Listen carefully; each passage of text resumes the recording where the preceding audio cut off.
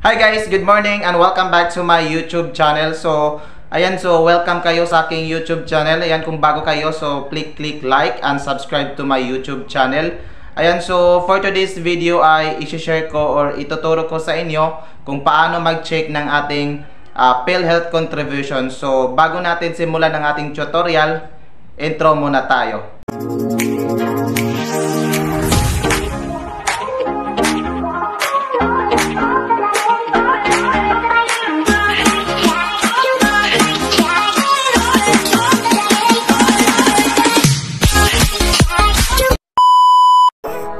Hi guys, so welcome back to my YouTube channel. Ayan, so for today's video ay i-share ko sa inyo kung paano mag-check ng ating monthly contribution sa ating PhilHealth.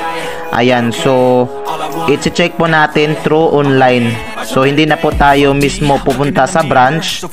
So pwede na po i-check natin sa online. Ayan, so first step is uh, punta kayo sa inyong Google Chrome.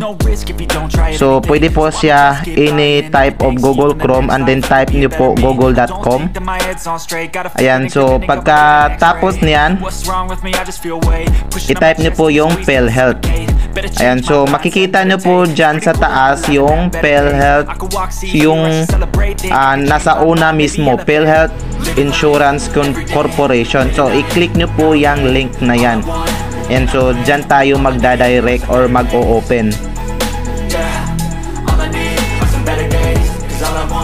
Ayan, so ito po yung uh, profile niya pagka click niyo ng link. Ayan, so yan po yung main profile. And then meron diyang sa taas, meron diyang uh, nakasulat na online services. Diyan po kayo sa online services. Click nyo po yung online services ng pagka-click nyo. So makikita nyo po yung My PhilHealth Portal. So makikita nyo dyan yung uh, login at saka create account. So i-click nyo yung login or create account since magla-login tayo. Since sa para doon sa mga walang uh, account, so meron po akong tutorial. So bisitahin no, nyo lang po yung video doon. Nandun po yung full tutorial sa walang account. And then since meron na tayong account, so direct na po tayo na mag-login sa uh, PhilHealth portal.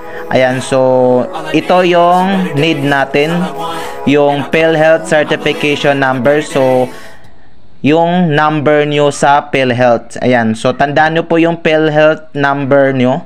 So, ilagay nyo po yung PhilHealth number.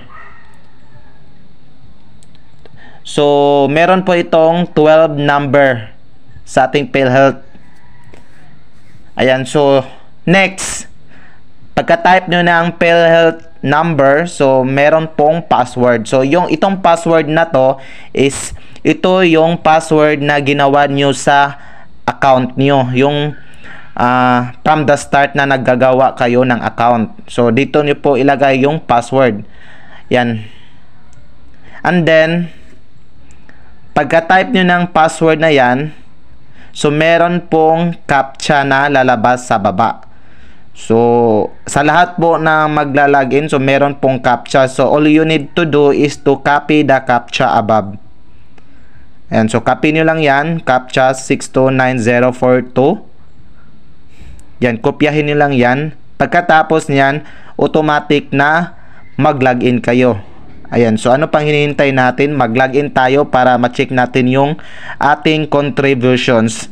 Ayan, so para ma-check natin kung nahulugan ba ng company natin. Ayan, so sa mga under sa company, so yung mga nagtatanong kung nahulugan ba ng company, so dito nyo ma-check manual. So kayo po mismo mag-check, ayan. So makikita nyo po yung dashboard.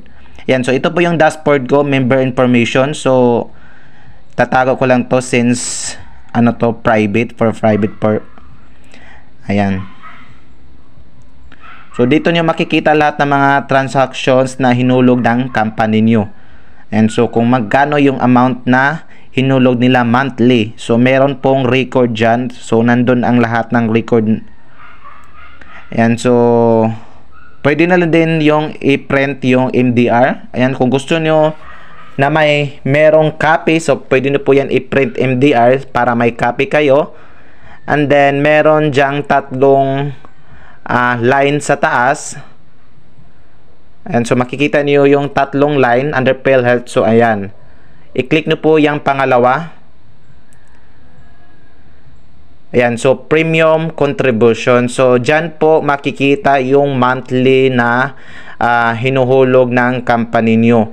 Ayan, so the amount of na hinulog ng company. So, makikita po yan kung magkanong amount sa January, February, until December. So, nandun po lahat ng record. Makikita mo yung access pag binuksan mo ito. Ayan. So, makikita yung monthly contributions, lahat-lahat ay makikita mo dito. Aya. Yan. So, madali lang siya, guys.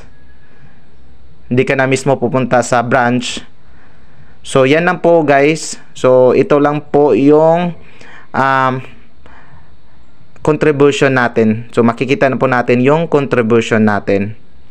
Ayan. So, thank you sa inyong panonood. So, sa next video, abangan nyo ang next video ko.